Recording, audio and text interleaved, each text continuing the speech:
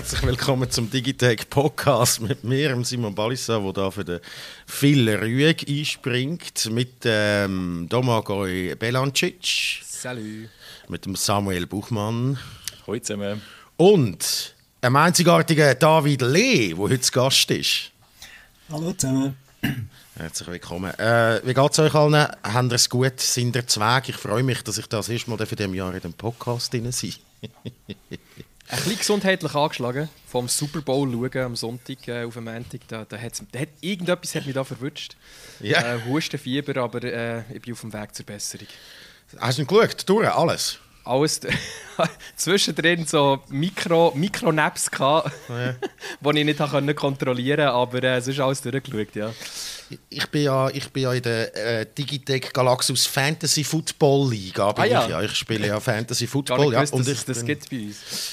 Die gibt es und ähm, schon, schon länger. Also schon, als ich angefangen habe, vor vier Jahren, habe ich gefunden, ich muss irgendwie ein bisschen Leute kennenlernen außerhalb von unserem Mikrokosmos-Redaktion und bin dort rein.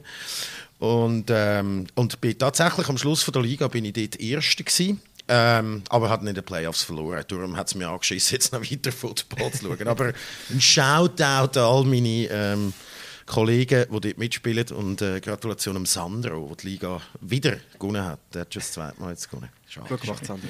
Sehr gut. Hey, schauen wir schnell an unsere Themen an. Und zwar hat es einen Grund, dass der David Lee da ist. Er erzählt uns nämlich ein bisschen, wie es ist, Programmieren lernen als Kind und heute. Du bist ein Game am entwickeln, glaube ich, oder? Ja, ich bin immer noch dran, ja. Jetzt schon seit Ja. längerem. Mit Basic. Mit Basic. Ja. Auf dem C64. Das klingt anstrengend. Ähm, und du hast äh, noch etwas mitgenommen, nämlich die Oxocard, die du mal äh, getestet hast. Auch dort werden wir darüber reden. Dann M2 Pro und M2 Max MacBook Pro 14 und 16 Zoll hat der Samuel Buchmann bei sich daheim. Du musst die Heizung gar nicht mehr anlassen. Du bist ja jetzt irgendwie am Benchmarken und so, oder? Ja, mittlerweile bin ich fertig zum Glück, aber jetzt tatsächlich drei Tage lang hat es da recht umgelüftet. Äh, ja, ich erzähle dann nachher. Genau. Dann gehen wir in äh, Big Screen haben wir Clarksons Farm Season 2, wo der Samuel sehr begeistert davon ist. Ich weniger. Und Spielecke. Wir äh, haben Like a Dragon Ishin. Ganz heiß direkt auf de, das Embargo quasi, äh, wo wir dürfen lüften. Äh, der Tommy hat das, glaube ich, jetzt etwa zwei Wochen schon äh, können testen, oder? Ja, genau, zwei Wochen vorher haben wir es bekommen. Und ich bin auch froh, dass wir es vorher haben bekommen, weil es ist ein längs Spiel. Äh, Wer hätte es gedacht? Das Ja. ist äh, ein Spiel in der Yakuza-Serie, die, die die Yakuza-Serie kennen. Ich habe ja probiert, alle Yakuza aufzuholen. Ich bin genau bei Yakuza 0 fertig geworden. Du hast einen Rückschritt gemacht. Eins, zwei, drei, vier, fünf und sechs stehen noch vor mir. ich glaube, nein, warte, jetzt sechs gibt es, äh, bin mir gar nicht sicher, oder ist das schon Like a Dragon? Sechs gibt es noch und sieben ist nachher Yakuza Like a Dragon. Gewesen, Genau, sieben ist der Like a Dragon. das habe ich aber auch angefangen zu spielen. Und wir haben alle zusammen, also außer der David, der wird uns dann nach dem äh, Segment dort verlassen. Ähm, äh, wir haben alle zusammen das dritte, der Last of Us, die fünfte Folge geschaut, äh, wo wir dann auch werden im Spoilercast darüber reden. Das dritte. Wir fangen aber an mit dem David, mit unserem Gast. Äh, erzähl mal, du hast, ich habe es vorhin schon angedeutet, du hast angefangen Programmieren von der C64. Wie kommst du auf so eine fast absurde Idee?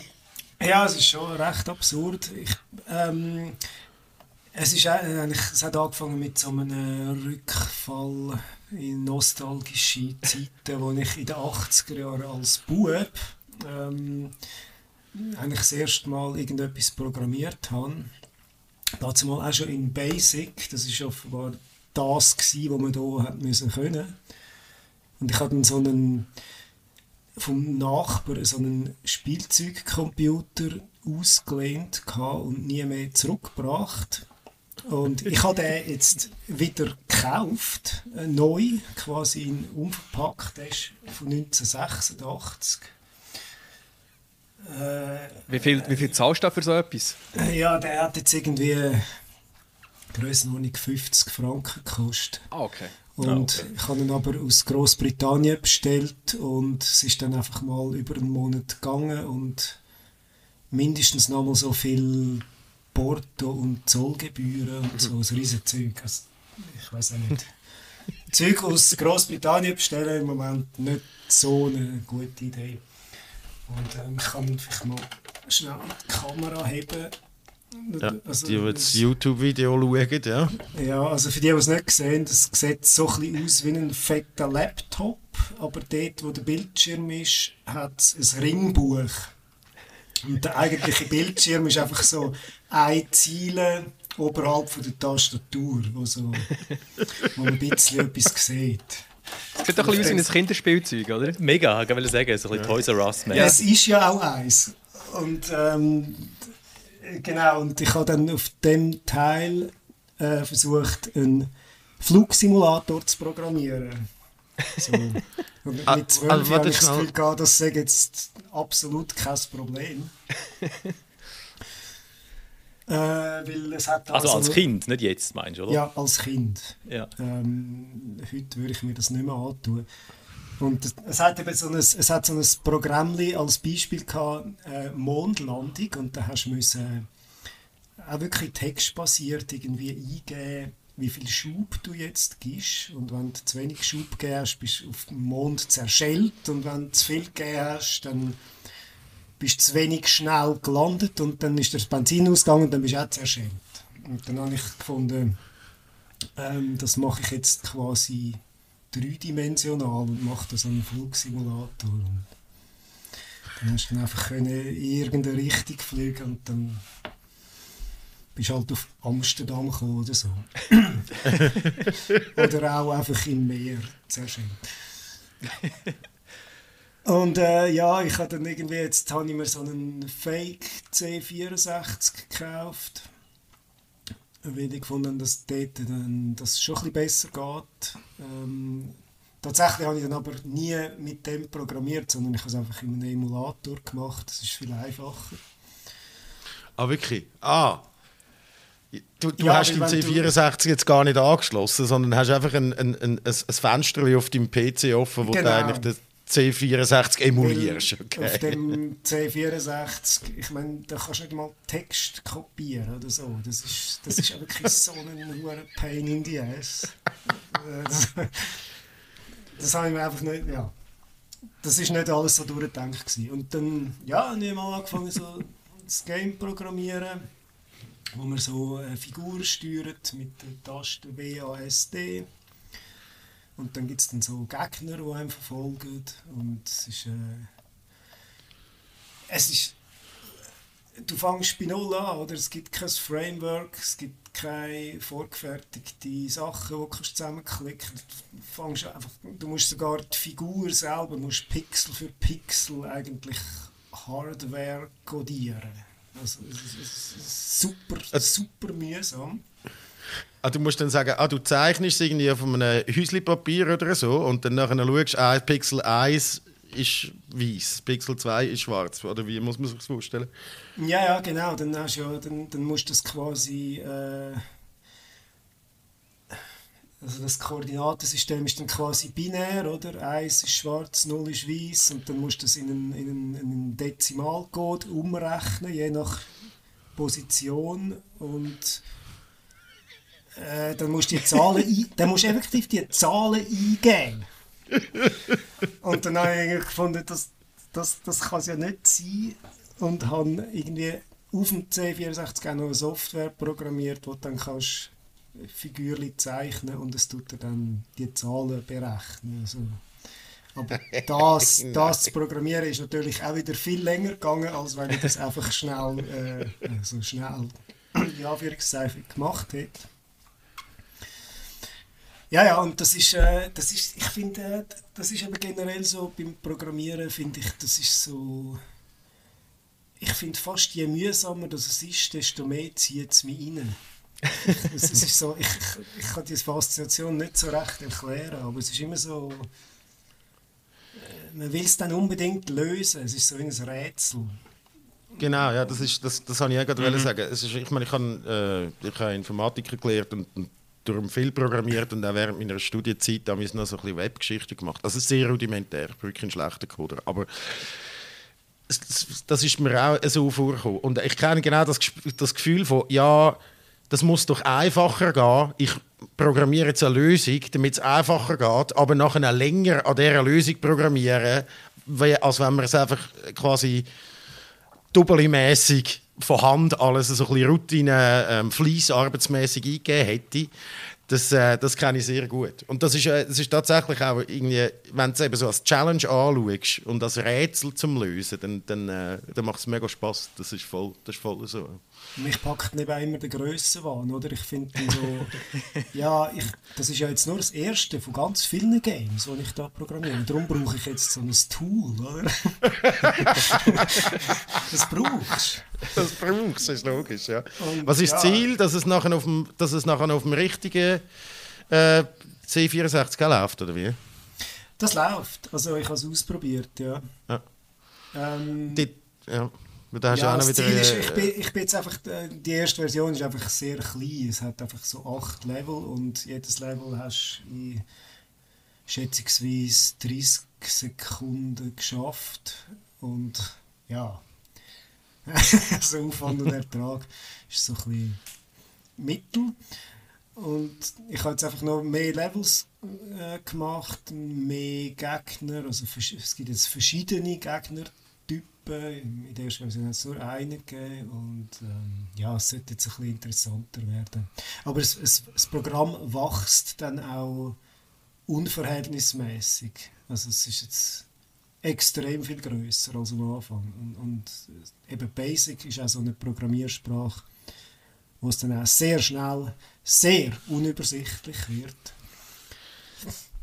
Ja, weil es ist nicht, das ist, also jetzt gehen wir jetzt vielleicht ein bisschen, ein bisschen zu tief, aber es ist ja überhaupt nicht objektorientiert oder nein. so, oder? Nein, nein. Du kannst nicht... Also du kannst nicht ja. einmal... Du kannst zwar irgendwie äh, Routine aufrufen, aber die haben dann nicht einmal einen Namen, die haben einfach eine Zielennummer und wenn sich das Programm verändert, dann verändert sich wieder die Zielennummer und dann musst du wieder schauen, bei welcher Ziele fängt jetzt das an und äh, weißt, bei so einem Programm mit 20 Zielen ist das okay. Aber ich ja. bin jetzt bei über 400 und äh, also du darfst, darfst nie eine Pause machen, weil nachher kommst du nie mehr rein. Wenn, wenn du mal aufgehört hast damit, dann, dann, dann, dann ist das Programm eigentlich gestorben. Du musst es einfach durchziehen. und das ist, glaube das ist, glaub, auch so ein, ein weiterer Grund, warum ich das Programmieren kommt bei mir immer so schubweise. Ich mache jahrelang nichts und dann plötzlich bin ich wieder Tag und Nacht dran. Und, ja. und immer mit Basic, oder wie? nein, nein. Das war eine hoffentlich einmalige Sache. Gewesen. Ja, das ist wirklich ein bisschen masochistisch veranlagt, muss ja. man glauben sein, oder? Ja, aber es ist natürlich, eben, das sind halt so Kindheitserinnerungen. Also hey, stimmt, ich habe mal ein Projekt gemacht in der BETS, also der Oberstufe, mit, äh, wo wir Basic, äh, auch Basic programmieren. Das raus hätte ich müssen schauen, irgendein Männchen, das tanzt mit einer Melodie. Und äh, der Rolf und der Mark, äh, die zwei, die mit uns in dieser Projektgruppe waren, die sind den ganzen Tag programmiert. Und ich und der Michi sind in die Stadt Cola-Dosen kaufen und Lebkuchen und haben uns einen Lenz gemacht. Aber es ist, äh, ist recht abgefahren, gewesen, was wir dort so... Eben, ich habe ich ha nichts gelernt, weil es ist doch ein bisschen, es ist doch ein bisschen too much gewesen, glaube ich, als, als 13-, 14-jähriger Bub. Aber äh, dort, du hast, dem Fall, du hast dort, damals auch schon mit Basic dran geblieben, oder? Ja, du angefangen hast. Also, wir haben dann auch im Gimmi haben wir müssen so einen Taschenrechner kaufen. Der T? Oh, die habe ich auch gehabt, ja. Äh, ein Sharp war das. Gewesen. Hm. Ah, okay. ja, auch ein einzieliges Display und so. Und da hast du auch können mit Basic programmieren. Ich glaube, Basic ist da wirklich in den 80er ist einfach ja, es ist, glaube ich, wirklich... Ja, es ist glaube einfach so ein bisschen der Einstieg ins Programmieren, weil wenn die Leute, dort hat es ja schon C und so Sachen gegeben, aber ich glaube, das ist einfach schon nochmal ein drei Niveaus höher und so ein bisschen für, für wirklich Basic-Sachen mhm. ist es, glaube ich, um den Einstieg zu bringen ins Programmieren, ist, glaube Basic schon das Ding gewesen, so, ja. Ja. Das ist krass, ja. Ja, und äh, oh. jetzt habe ich gerade den Vater verloren. Ähm, ja, wir sind beim Programm, gewesen, wo jetzt immer also größer wird. Ich finde zum Beispiel auch der, der C64, auch wenn es nur ein Imitat ist, ich finde den irgendwie faszinierend. Gerade weil er so wenig kann. Es ist dann auch so es ist möglich, den Computer komplett zu verstehen, bis auf Hardware. Mhm. Und das ist schon noch, das hat schon noch seinen Reiz, auch wenn das Teil natürlich von der Leistung her absolut lächerlich ist und, und, und eigentlich auch unbedienbar aus heutiger Sicht. Es, es ist irgendwie, eben, dass du, dass du etwas komplett selber machst, von Grund auf und alles verstehst, bis, bis hin zur Speicheradressierung und so, das, das, das finde ich irgendwie noch faszinierend. Aber zugegebenermaßen auch ja, sehr, sehr nerdig. Absurd aufwendig. Mhm. Ja.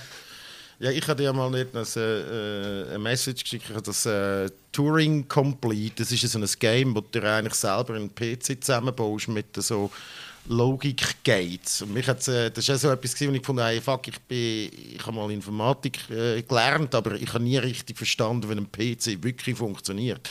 Und für das ist das recht cool, weil du musst dann wirklich einen PC bauen, inklusive allen Komponenten und checkst, wie, wie das funktioniert mit 1 und 0 das ganze Zeug, so, also das Ganze, eben, wie du sagst, man, man, man, C64 kannst du bis auf Systemebene aber quasi begreifen. Das ist sehr geil, weil äh, so ein normaler PC oder äh, auch schon nur ein Handy oder whatever, das, du hast keine Chance, oder? Mhm. Das ist keine Chance, das zu begreifen. Das ist du recht abgefahren. auch nichts, also bei einem modernen Computer solltest du auf keinen Fall direkt äh, in die Speicheradresse hineinschreiben. Das, das, Nein, das, äh, das, das, das, geht auch gar nicht, aus Sicherheitsgründen. Ja, ja. ja. das ist wirklich abgefahren. Ja. Und was ist jetzt das Ziel? Also ich meine, du, du schreibst viele Artikel, glaube oder äh, ich weiß nicht, wie viele hast du schon veröffentlicht Artikel dazu? Ja, jetzt glaube zwei, drei so. Ich habe noch, ich habe noch ein paar Sachen also zum Beispiel das Thema Sound, da bin ich eigentlich gescheitert. Das, ähm, das ist echt zu kompliziert. Ähm, ich müsste dann auch Assembler lernen, was mich ehrlich gesagt extrem anschießt. Das ist dann eben Maschinensprache, genau. Ja. Mein, Computer, den also, ich dort ja. zusammengebaut habe, dem habe ich dann können Assembler beibringen und dann habe ich aufgehört, das Game zu spielen, aber ja.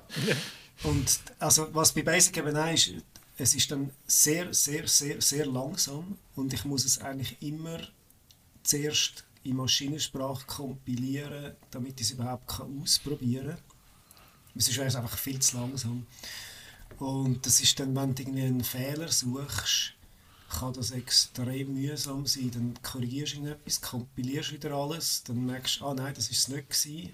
Dann änderst wieder irgendein kleines Komma und musst es wieder neu kompilieren. Und ja, das ist auch so ein... ja, ja. Und was ist mit dem Sound? Also, also dort kannst, da kannst du nicht irgendwie als Basic kannst Sound gar nicht programmieren. Das heißt, dann musst du mit dem Sound Ja, mal, aber du kannst nicht... Also ich glaube, du kannst es nicht im Hintergrund dann laufen lassen. Also dass okay. das quasi das Game läuft und so nebenbei spielt es irgendeine Melodie ab. Das, sehe ja. ich absolut nicht. Ja. Vielleicht hat irgendjemand äh, eine Idee, wie der David das anbringt. Wir können gerne schreiben, podcast.digitech.ch oder in Discord oder auch unter einem Beitrag drunter. Willst du es mal verfügbar machen für die Öffentlichkeit oder ist das einfach dein Hobbyprojekt? Ja, nein, ich habe die Version 1 auch schon zum Abladen rein da. Ich weiß nicht, ob es tatsächlich jemand runtergeladen hat. Ganz ehrlich, es ist mir jetzt peinlich, dass ich gefragt habe. Ich habe es nämlich nicht gesehen, dass du es nicht hast können Nein, ich meine, wenn, das, wenn du die Arbeit schon gemacht hast, klar, ja. ja also, und dann auch, auch mit Quellcode, auch wenn das vielleicht ein bisschen peinlich ist, aber trotzdem... yeah. Ja, aber man kann ja nur lernen, oder? Du bist ja nicht jetzt so, dass äh, ja, ja. es ist ja dann schon so, dass wenn irgendjemand kommt und sagt, hey, das hättest du gescheiter so können machen, dann nachher ist es ja auch cool, so lernst du ich, ich, ich, vertraue ehrlich gesagt auch darauf, dass der Quellcode gar niemand versteht. das ist einfach so. Ja. Also da hast du bis jetzt noch wenig Response auf den Quellcode, oder? Ja, ist noch kein Mail gekommen bis jetzt. das ist geil, sehr schön. Äh, ja, danke für, für, die, für den kurzen Einblick in dein Projekt, das du machen bist. Äh, du hast aber, äh, man kann es vorhin andeuten, du hast auch die Oxocard. Hat das etwas mit dem zu tun, was du jetzt da Programmieren gelernt ja, hast? Oder ist das ein bisschen am Rand von dem Ganzen? So? Das hat mit dem direkt nichts zu tun. Es hat einfach so man ist dann so darauf gekommen, dass das ja etwas könnte für mich sein, weil es dort auch darum geht, ähm, Programmieren zu lernen. Aber es ist, Was ist- eigentlich was- vö- ja. es ist ein völlig anderes Konzept. Oxocard, das ist so ein kreditkartengrosser Minicomputer, also so eine Platine, wo so einen winzigen Bildschirm drauf hat. Der ist so quadratisch und wirklich so zweieinhalb Zentimeter groß. Also ich kann das mal einmal in die Kamera heben. Das ist so Ah, das ist das schwarze quadratische Ding, oben ist der Bildschirm. Es hat noch so ein Steuerkreuz unten ähm, und es hat so diverse Sensoren. Also es gibt verschiedene, die hat jetzt einen Haufen Sensoren noch für Temperatur, Feuchtigkeit, ähm, Helligkeit, Geräuschlevel und so weiter. Ah, das ist wirklich geil. Ja. Und da kannst du halt ähm, das programmierst in einem Webbrowser mit einer Programmiersprache, die so ein bisschen moderner ist, äh, ähnlich wie Python. Und da kommst du ähm, viel schneller zu irgendeinem äh, Ergebnis. Und was schön ist an dem, ist, dass ähm, also das ist von einer Schweizer Bude entwickelt und die liefern dir ganz einen Haufen Beispiele mit, wo man im Quellcode kann anschauen kann, wo du auch siehst, also es wird zum Teil auch Schritt für Schritt erklärt, was die einzelnen Programmteile machen. Und ich glaube, das ist so, also Zielgruppen sind so 14, 15, 16-Jährige, die das wollen, die wollen programmieren lernen und es wird auch in Schulen verwendet und ich glaube, für das ist es wirklich super.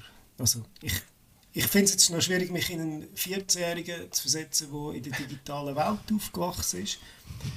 Aber ich habe das Gefühl, das ist, das ist auch heute noch etwas Faszinierendes. Und, und ich habe dann gemerkt, also mit all diesen Sensoren könnte es sogar für Erwachsene noch das ein oder andere sinnvolle, ja, sinnvolle Anwendung geben. Ja. Ist es denn eine eigene Programmiersprache, die sie haben? Du hast gesagt, das ist ähnlich wie Python, aber es ist nicht Ja, die Python. haben e- effektiv eine eigene Programmiersprache äh, erfunden, wenn man so will.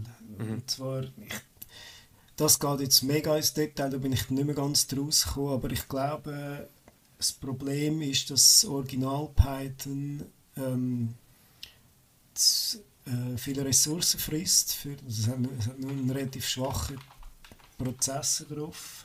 Mhm. Ähm, und dann gibt es noch irgendwie MicroPython, wo irgendwie für Microcontroller optimiert ist, aber das hat irgendwie auch nicht gepasst. Warum weiß ich jetzt nicht mehr. Und sie haben dann wirklich gefunden, wir machen jetzt etwas Eigenes.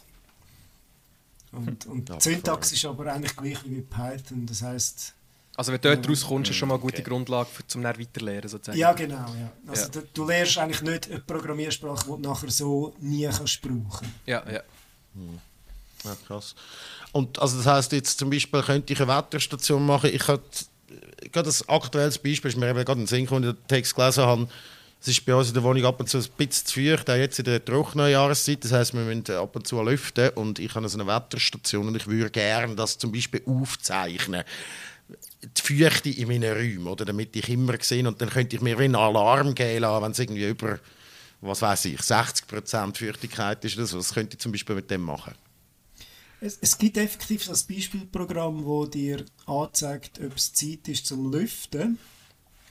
Und Ich habe das sehr absurd gefunden eigentlich im ersten Augenblick, weil ich gefunden ich merke selber, ob es Zeit ist zum Lüften. Jetzt habe ich allerdings ähm, seit fünf Tagen, seit ich verkältet war, habe ich einfach keinen Geruchssinn mehr. Und jetzt wäre ich eigentlich recht froh um so etwas.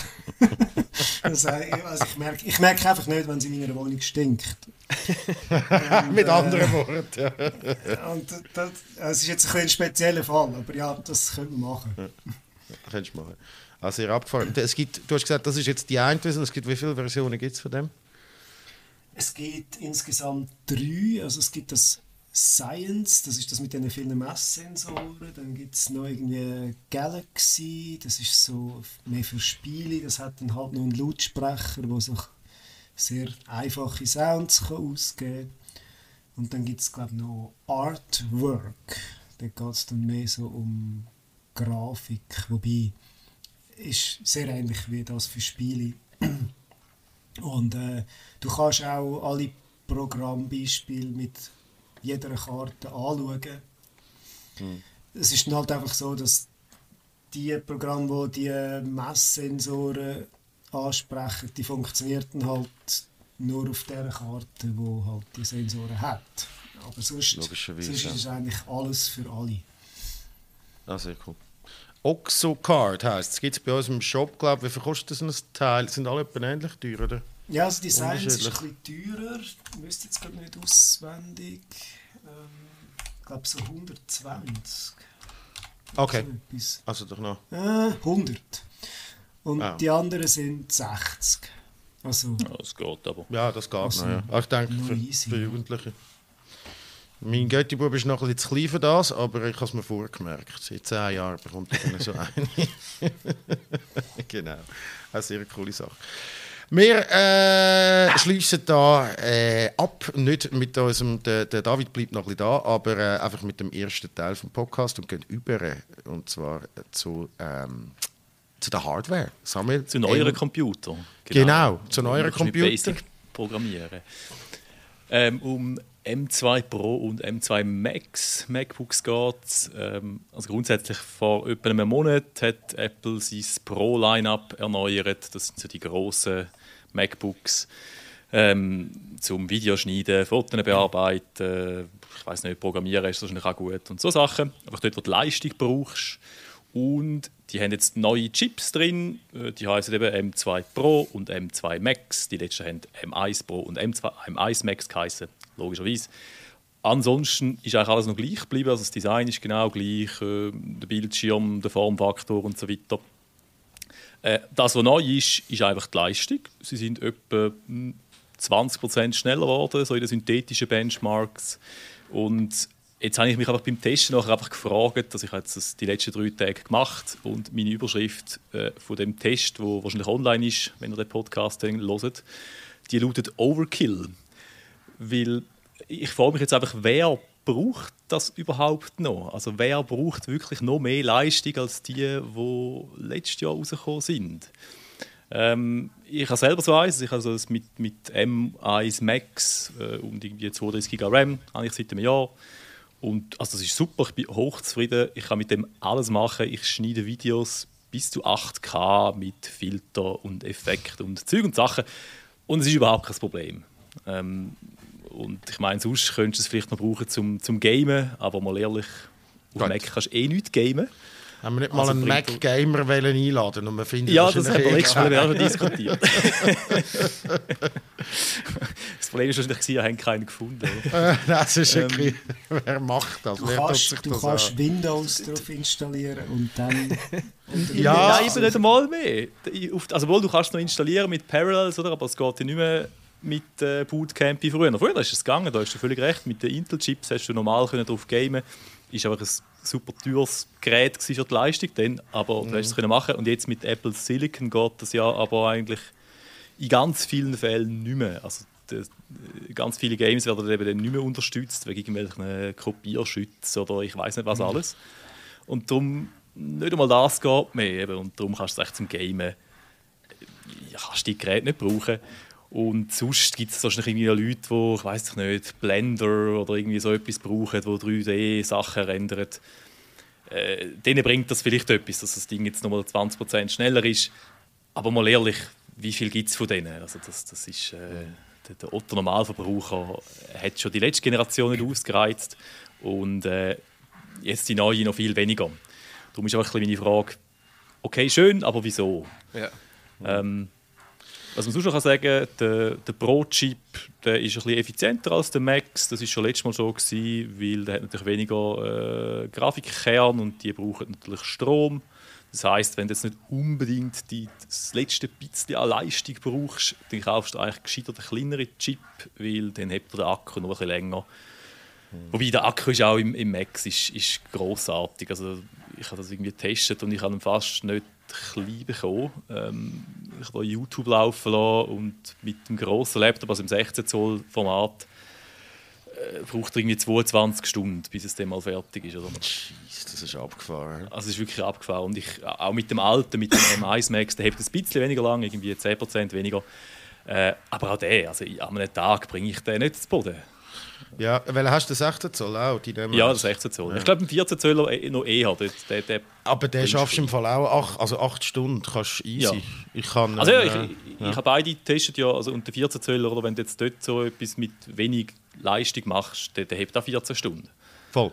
Ähm, also auch das ist, ist, ist super, oder? Das ist krass, von, von so Zahlen kannst du mit einem Windows-Laptop ja. mit vergleichbarer Leistung wirklich nur träumen. Es ist, ja. es ist abartig. Ja. ja, es ist immer lustig, weil ihr da mit, äh, ich weiß nicht, wenn wir Sitzungen haben und so weiter, oder? Und dann haben ihr da die, die Firmen-Notebooks, was sind das, ja. die HP, Elite-Books oder irgend so etwas. Und dann nach, nach zwei Stunden im Sitzungsraum fängst du die ersten an verzweifeln, weil ihren Akku langsam zu Boden geht. Das ist aber eigentlich ein guter, ist ein guter Timer, weil zweistündige Sitzungen sind wie mir ein bisschen zu lang.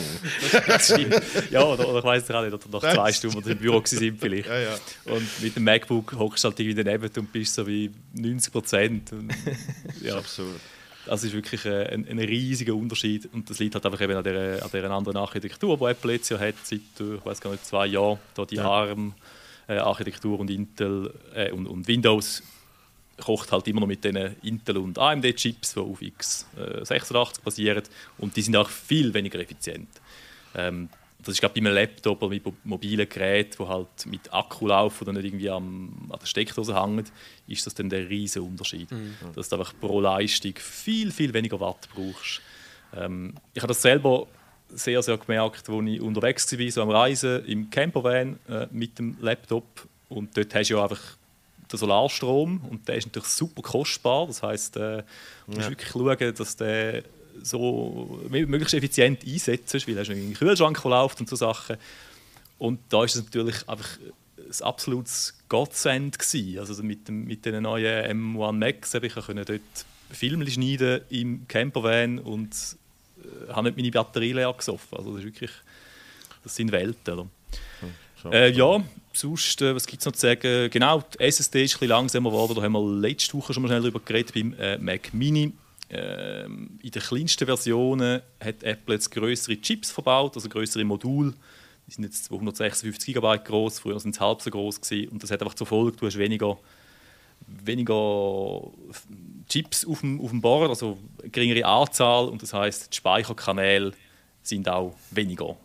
Sonst kann er auf vier Chips gleichzeitig abspeichern und genau. so nur auf zwei, oder? Ja, ganz genau. Jetzt beim MacBook sind es zwei und vier, beim Mac Mini ist es ein und zwei gewesen, und dort ja. ist dann wirklich so eine, ist dann langsam ein bisschen sehr langsam. Jetzt beim MacBook ist es eigentlich kein Problem. Also selbst mit, den, mit der kleinsten Version ist der SSD zwar langsamer, aber immer noch vorig genug schnell. Ähm, und ja, etwas anderes, was mich die Leute noch fragen, ist ja, wie viel RAM brauche ich denn jetzt, oder? Äh, und ich sage 32, 32, immer. Ja, du bist, du bist immer. jetzt verschiedene 32. Ich sage mittlerweile, ich habe auch 32, ich habe das genau gleich gedacht, aber ich sage mittlerweile, die SSD sind so schnell und können das so gut äh, puffern, dass du einfach kannst die 60 GB kaufen und du bist eigentlich putzt und gestrahlt. Eben, außer du machst jetzt irgendwelche wilden Sachen mit riesigen Videoprojekten und ich weiß nicht was, dann bringt das vielleicht etwas. Aber sonst, äh, ja. Also das Schöne ist an diesen neuen Laptops eigentlich, du kannst plus minus einfach die Basisversion kaufen Vielleicht noch ein bisschen mehr SSD, weil so 500 GB Speicher ist ein bisschen knapp, allenfalls. Ja, find, ich finde in, in, einer, in einer Cloud, in einer Cloud ja. finde ich eben tatsächlich ja. nicht jetzt für mich beim Arbeiten, aber wenn du eben ja. wenn du Videoschnitt dazu machst, logischerweise schon. Ja, genau, genau. Ich finde so ein bisschen, wenn, wenn du ein paar Sachen installiert hast und vielleicht ein bisschen Fotos und Video willst lokal speichern, dann ist es super, wenn du ein bisschen mehr hast und sonst lange da die kleinste. Hey, ja, eben, und sonst musst du eigentlich nicht den grossen Chip nehmen, du musst nicht mehr Arbeitsspeicher nehmen, du kannst du das, äh, das Format auswählen, 14 oder 16 Zoll. Ähm, ich mag 16 Zoll sehr, der große Bildschirm, aber das ist auch Geschmackssache am Schluss. Apropos Bildschirm, ja. bei denen ist alles gleich geblieben im Vergleich zu letztem Jahr. Ist immer genau gleich, ist so eine Mini-LED mit irgendwie, ja, der hat extrem hohe Dichte, also Dimming Zones, also der Kontrast ist, ist auch super. Äh, wenn du jetzt ganz im Dunkeln irgendwie etwas schaust, wo, ich weiß nicht, äh, weiße Sterne in einem schwarzen Nachthimmel hat oder so, dann hast du so minimal so einen Blooming-Effekt, also dass nicht ganz trennscharf ist wie jetzt bei einem OLED. Oder? Aber das ja. merkst du wirklich. Aber dafür viel heller allgemein, oder? Viel heller, ja. viel heller. Also standardmäßig irgendwie 500 Nits und bei HDR 1000 Nits, okay. Vollbild wohlgemerkt. Also nicht nur irgendwie so Spitzenhelligkeit, mhm. dort sind es sogar 1600 Nits. Also wirklich super hell, kannst auch draußen arbeiten, kein Problem. Äh, ja, und haben auch noch die, die, die adaptive Refresh Rate, haben sie ja, das nennen sie irgendwie Promotion, wieder irgendeinen so einen, äh, fancy Namen. Aber das ist dann wegen dem Akku, oder? Vor allem. Genau, ist wegen dem Akku super. Das heisst, es kann wirklich zwischen 24 und 120 Hertz kann halt durchwechseln. Und wenn du jetzt mhm. etwas Statisches offen hast, oder dann wiederholt sich dann auf 24 Mal in der Sekunde, braucht viel weniger Akku. Und wenn du irgendetwas bewegst, scrollst, ich weiß nicht was, dann äh, fährt es auf. Also ist das eine super Idee eigentlich. Ja, eben, und sonst äh, kauft einfach die Basisversion. Und wenn du musst fragen, für was du die grossen Chips und mehr RAMs brauchst, dann brauchst du es nicht. das ist echt so meine Regel mittlerweile. Ja, ich habe ich hab mir ja, äh, gerade im Herbst habe ich mir äh, ein M1 Pro mit 32 GB gekauft. Ich habe gewusst, dass die M2 werden kommt, habe gedacht, soll ich noch warten. Aber es hat weh müssen sein, weil ich ähm, eine Woche weg mm. bin und dort hat, mein Laptop ist so ein bisschen wirklich am, am Abkratzen. Es ist nicht ein Firmenlaptop, es ist ein anderer Windows-Laptop und ich habe vor zehn Jahren das letzte Mal einen Mac gehabt und bin dann weg vom Mac, weil ich wirklich gefunden habe, so, dort mal Zeit gegeben, wo es dann auch hardwaremäßig irgendwie nicht mehr richtig gut sind und so. Und ich wirklich gefunden habe, irgendwas verhebt nicht mehr.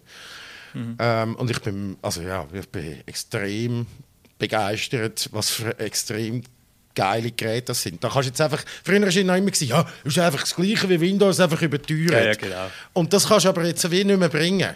Äh, mit längerer, längerer Akkulaufdauer, mit den mit der schnelleren Prozessoren, mit allem, was sie machen. Mit dem, es hat einen HDMI-Port dran.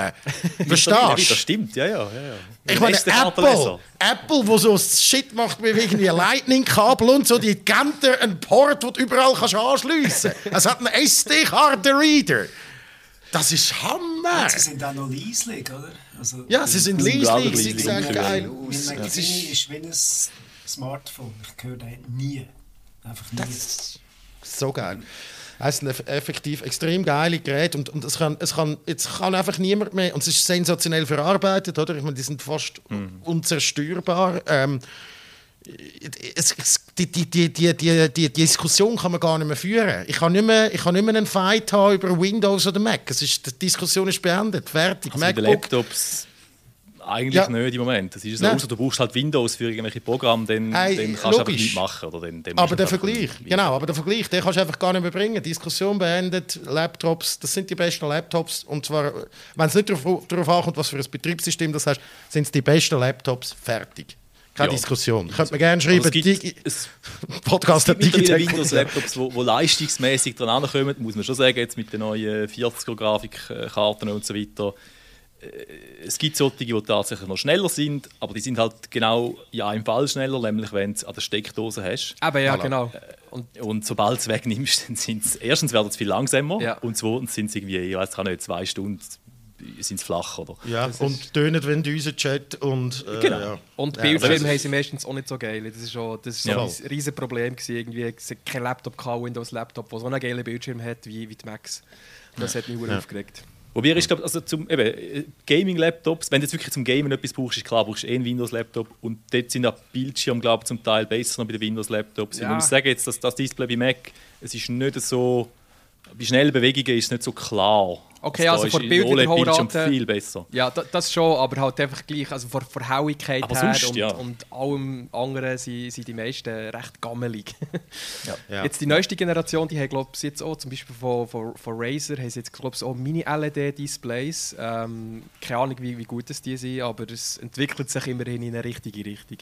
Mhm. Ja, aber es, ja, es ist ja, ja, eben also OLED als Bildschirm, da haben wir ja vor ein paar Folgen mal drüber geredet, das ist sowieso, äh, ja das, äh, also vielleicht, noch, vielleicht noch zu dem, wer braucht die Leistung? Also eben im Moment, ja wahrscheinlich niemand, aber ich bin sicher, wenn es die Leistung gibt, dann wird es in Kürze auch Anwendungen geben, die die einfach saugen. Adobe ist da denn? immer... Ja gut, ja. Adobe ja, schafft es ja. immer irgendwie das Maximum an Leistung rauszusaugen, das ein Computer hergibt, egal wie viel der leistet. Also die, die schaffen es auch aus einem Mac Studio ich weiß nicht, die haben einfach so die Philosophie, wir nehmen alles, was rum ist. Mhm. Kann man sich eben auch fragen, ob es wirklich gut programmiert ist oder ja. ob es einfach eben, easy sind. Das ist, oder? das ist dann, oder wenn du dann halt kein Mac Studio hast, dann hast du ein Problem. Ja. Weil du benutzt die gleiche Software und das, also das, die Software, das sind Geschwüre. Also das, Also ich glaube, vor allem bei, bei Premieren ist es wirklich, oder es geht immer extrem lang, bis sie es auch optimiert haben auf die neuen Prozessoren. Dann mhm. nachher ist es glaube okay. Aber also bei Photoshop und, und Lightroom muss man sagen, oder dort ist mittlerweile sind die Macs alle so leistungsfähig, dass es genug Leistung rum hat, auch mit den kleinen. Du hast ja einen M1 Mac Mini, glaubst und ich nehme an, mit dem läuft das Zeug auch flüssig. Ja, tipptopp. Aber ja. eben, es gibt ja auch noch Intel Macs, es gibt Windows-Rechner, ja. dort muss das alles auch laufen und da, da, mhm. das finde ich auch ein bisschen schwierig, denen ihre Philosophie. Aber es ist ja so. Also, und im, im, im, Videoschnitt ist es dann eine andere Geschichte. Also ich glaube, Premiere, da weiß ich jetzt nicht, ich, ich habe schon lange mit, mit Premiere geschnitten. Ich weiß einfach, ein Video lang ist es wirklich so gewesen, dass es massiv mehr Leistung gebraucht hat und viel langsamer war als äh, Apple Final Cut oder als DaVinci Resolve. Also ich schneide mittlerweile mit DaVinci Resolve, die sind immer super schnell ähm, optimiert auf die neuen Geräte und auch wahnsinnig effizient, dunkt es mir. Äh, ja. ja. Hey, ja, aber eben sonst, äh, wenn man eins braucht, dann kaufen. Äh, es ist natürlich teuer, muss man immer noch sagen. Also das ist schon, der, der Preis ist der Preis. Äh, der M2 Pro 16 Zoll, also den, den ich vorher gesagt habe, ich kaufe 16 Zoll M2 Pro 60 GB RAM, 1 TB SSD, der kostet fast 3000 Franken. Ja. Also das ist natürlich schon eine Hausnummer. Und wenn du jetzt den, den ganz grossen willst, den M2 Max und so weiter, ähm, mit 32 GB und 1 TB SSD, dann kostet er 3850 Franken. Das sind einfach die offiziellen Apple-Preise, die äh, steigen und sinken die dann so ein bisschen bei den Retailern wie bei uns. Aber das ist auf jeden Fall sehr, sehr, sehr teuer. Also man muss sich dann schon auch fragen, braucht man überhaupt so ein Pro-Modell oder würdest du vielleicht einfach das MacBook Air auch tun? Äh, weil für alles, was du Office und so Sachen machst ähm, oder eben auch normale Bildbearbeitung, brauchst du es eigentlich einfach nicht. Ja. Ja, das stimmt, aber ich meine schlussendlich die, was es heißt pro aus einem Grund und das werden ja. sich die Leute auch überlegen so, oder? Und, ähm, und ich glaube tatsächlich, ich meine, du musst schon auch sehen, wenn du das Gerät kaufst, das ist schon vier, fünf Jahre. Ja, das ist ein guter Punkt. Oder? Und so, und ja. so Windows-Laptops, wenn jetzt 1000 Stutz ausgesehen ich sehe es meiner Frau, ich habe meiner Frau vor zwei Jahren oder drei Jahren auf Geburtstag ein Laptop geschenkt. 1000 Stutz. Also, wir haben, wir haben es zusammen. Ich bin da nicht so. wir haben es wir haben zusammen geleitet. Das ist da nicht. Aber ähm, ja, das, ist jetzt, das ist jetzt am Anschlag, oder? Und sie braucht es nicht viel, oder? Sie braucht es ein bisschen zum Word machen und ein bisschen zum. Äh, ja, so ein bisschen so Zeug. Ähm, da kannst du eigentlich schon wieder noch, es, es lödelt alles schon so ein bisschen und so. Und, ähm, und das ist ein MacBook, wäre jetzt, man hätte man, hätte man gescheiter Ja, hättest du kein Problem. So. Ja, Gerüchte halber übrigens kommt demnächst ein 15 Zoll MacBook Air raus. Das dürfte dem für ganz viele ah. Leute wahrscheinlich eine super Option werden. Ja, das stimmt. Halt was ist ein MacBook Air? Ist so 13 oder wie viel? Ja, genau, 13,3 Zoll, was halt dann schon eher ein kleiner Bildschirm ist. Ja. Ähm, das ist für unterwegs super, oder? Aber wenn du jetzt viel daheim brauchst, ist es ein bisschen klein. Und die grossen, die MacBooks Pro, die haben den 16 Zoll, das ist jetzt das, was ich getestet habe, aber das ist dann entsprechend teuer und eigentlich hat viel, viel zu viel Leistung für ganz viele Leute. Und darum ja. wäre jetzt ein 15 Zoll MacBook Air, wenn das stimmt und das rauskommt, ich glaube, das wäre dann für viele Leute die beste Option. Ja, wahrscheinlich. Ja, ja ich finde 14 Zoll, ich finde 16 Zoll sind so richtige Totschläger. Ich finde es nicht ja. mehr so portabel irgendwie. Ähm, darum habe ich 14 ja, Zoll gekauft. Aber also, ja, 2,1 Kilo. Ich meine, früher hast du ja, logisch. Die so schwer sind. Also, weißt, ich finde halt auch die Maß, äh, die Abmessung irgendwie, finde ich so Also ich weiß nicht, es ist, es ist, ein psychologischer Faktor. Sehr schön. ähm, du, die Benchmarks kommen alle raus. Ihr könnt alles dann lesen auf digitech.ch. Ähm, sollte in dem Fall schon drauf sein, wenn der Podcast rauskommt am Freitagnachmittag. Genau, ich hoffe es. Dann gehen wir über zum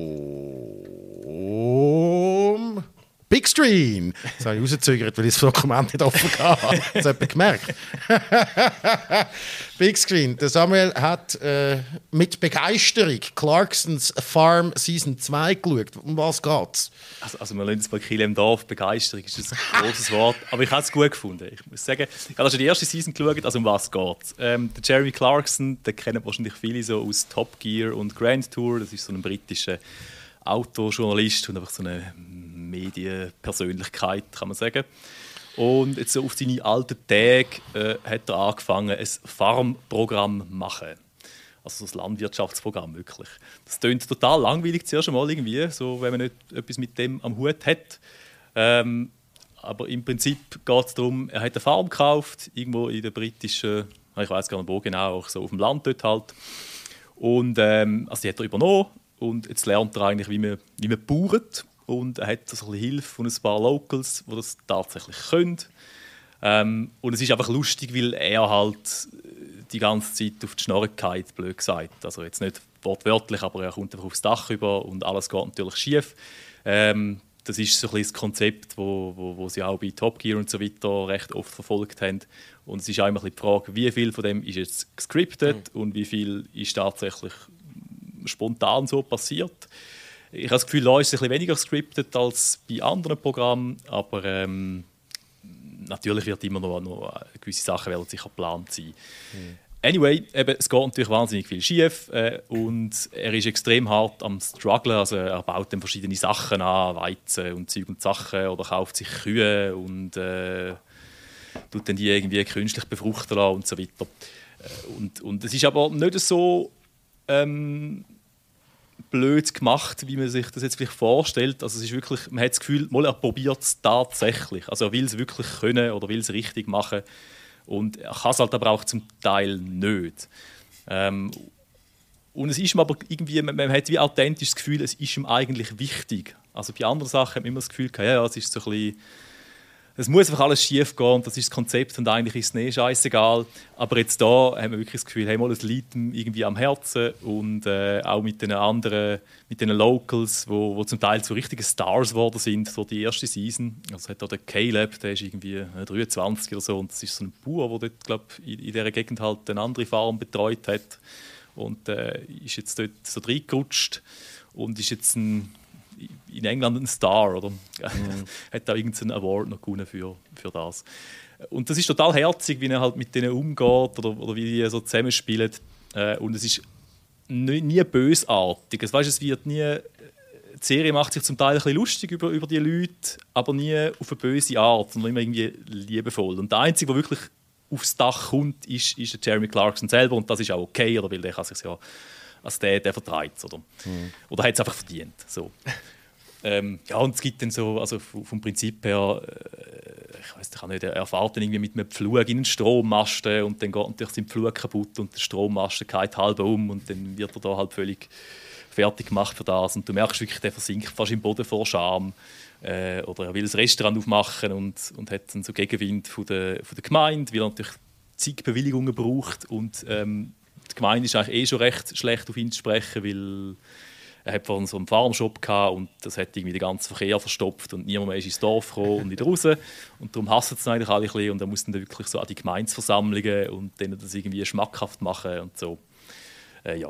Also es ist wirklich recht, recht cool gemacht und ich finde es ist aber auch schön produziert. Das sind so super schöne Landschaftsaufnahmen von dieser englischen Countryside und, und ich, ich schaue es irgendwie gerne, es ist so entspannt mhm. und halt eben lustig. Äh, ja, es, es, ist jetzt nicht so aufgeregt, läuft auf BBC Prime äh, seit, äh, seit einer Woche, glaube ich. Das ist die zweite Amazon Staffel. Prime, oder? Ich, Nein, was? BBC oder Amazon äh, Prime? BBC, Entschuldigung, Amazon natürlich. Ja. Oh, nein, es läuft nur auf Amazon Prime, ja, gar nicht auf ja, BBC. Ja. genau. Okay. Nein, nicht auf BBC. BBC hätten ja ausgespickt. Ja, das wäre weird, wenn er dort nochmal äh, einen Gig bekommen hätte. Ja, ja genau. Äh, nein, auf, auf, Amazon Prime läuft es. Und es hat, äh, ich weiß gar nicht, ich glaube, zehn Folgen. Ja. Äh, ist jetzt aber die zweite Staffel. Ich finde, die zweite Staffel ist auch besser als die erste. Es hat irgendwie so ein bisschen mehr, ein bisschen mehr Dramatik und es ist ein bisschen spannender als die erste. Macht er ähm, denn seine, seine andere Autoshow nicht mehr jetzt, oder? Mal, mal. Das schon noch. Also, die Grand Tour haben sie jetzt einfach äh, reduziert auf so Specials. Also am ah, Anfang ah, okay. haben sie da glaub, drei Staffeln lang haben so, ich glaub, zehn Folgen gemacht. Mhm. Irgendwie drei Staffeln, zehn Folgen mit so einem Zelt und den Gästen und, und, Publikum und so. Und jetzt mittlerweile machen sie, ich weiß nicht, einmal, zweimal im Jahr oder so, glaube ich, ein Special. So größere Geschichten. Ja, genau. Ja. genau. Das, wo schon äh, Top Gear eigentlich am coolste war, wenn sie Specials genau. gemacht haben. Ja, ähm, ja ich finde, äh, ich habe ja, ich hab die ersten zwei Folgen geschaut. Ich finde, ja, ich finde Jeremy Clarkson ist wie, es ist einfach, der ist einfach, der ist durch. Ja. Er ist natürlich nach wie vor ein lustiger Sieg und äh, logischerweise und äh, er, er, hat eine gewisse, mh, hm, wie soll ich sagen, ja, eine gewisse Demut, die er dort an den Tag legt, die man sonst nicht von ihm kennt und so, wo genau. vielleicht das Ganze jetzt ja. irgendwie noch ein bisschen raus, rausholt. Aber ich finde, er ist schon ich finde, man kann. 2023 ist so.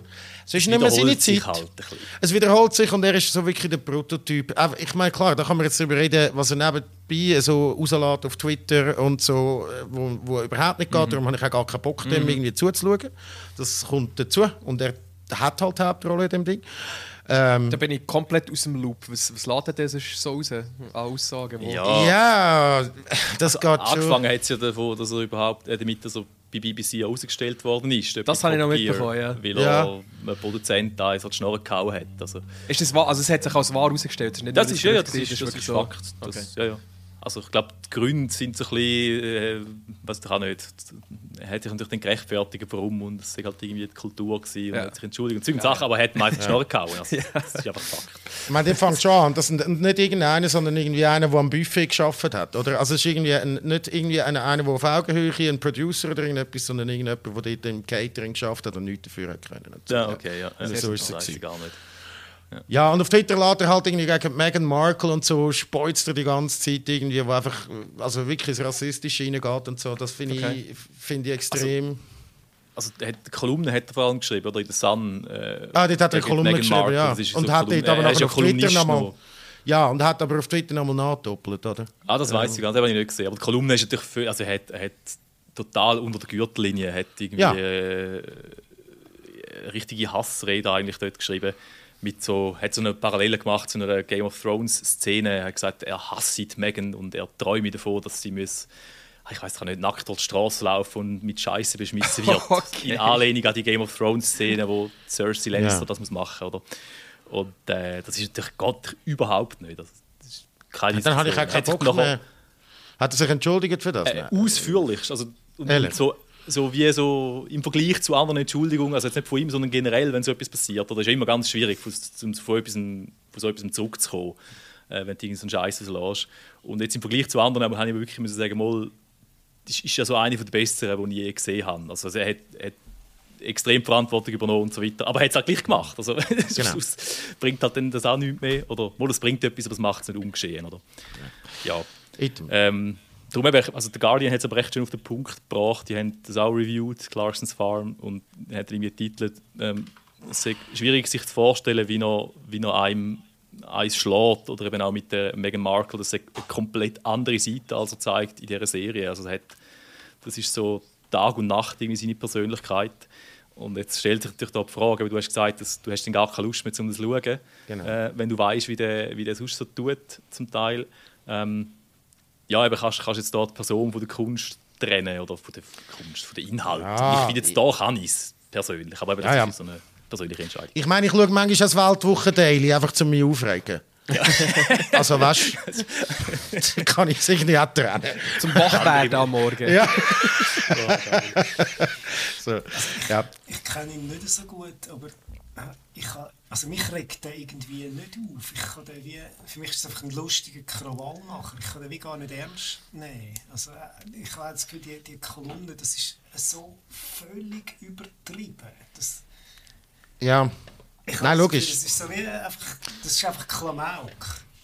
Ja, so wie der, wie der Thiel. Das völlig ernst meint. Ich, ich, ich weiß es einfach nicht. Nein, es ist schon Klamauk, da hast du völlig recht, aber, aber irgendwo hat es doch Grenzen, wo dann selbst ein Klamauk nicht mehr lustig ist. Oder? Das gibt, genau. Die überschreitet er halt immer wieder mal. Aber es, mhm. grundsätzlich, ich habe das Gefühl, er sieht das eigentlich genau wie du. Er findet, ja, das ist ja einfach das alles ja so überspitzt und seine Masche.